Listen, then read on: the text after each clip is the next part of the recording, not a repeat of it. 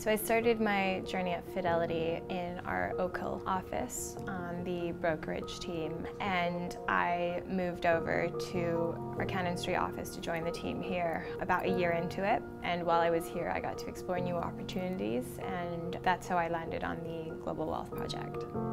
There's been a lot of change within the technology department the last couple of years and what's arisen from that is a huge amount of investment within the technology space.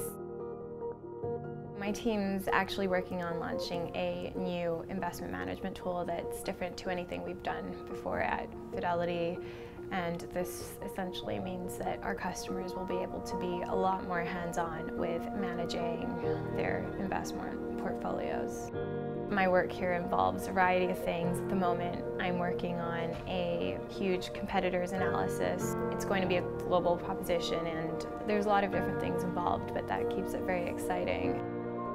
If you're thinking about applying to Fidelity, I'd encourage you to come and attend one of our open days. There's a lot of cool things going on behind the scenes at Fidelity and ultimately you won't know about them until you ask because it's not always advertised and marketed on our external facing websites.